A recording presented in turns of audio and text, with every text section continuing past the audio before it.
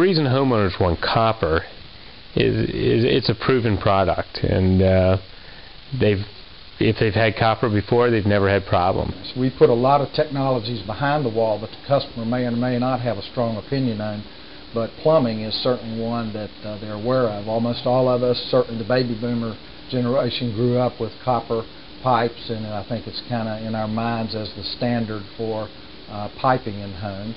My uncle installed uh, my mother's plumbing in, in her original house, and uh, uh, other than the memories that I have of it, just seeing it in the basement when we played in the basement, you know, you could see the bright, shiny copper material in, in the in the floor joists, and uh, uh, we we never had a problem that I was aware of at all. We're originally from back east, and um, um, my dad, his dad, and my husband always said copper plumbing is better. It's more durable, it's stronger, and it's uh, better.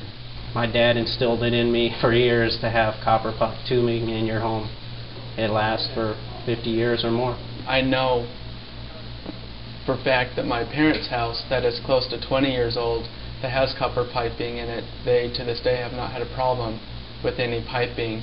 It wasn't really a question of where we were going to go with copper or was it some other product.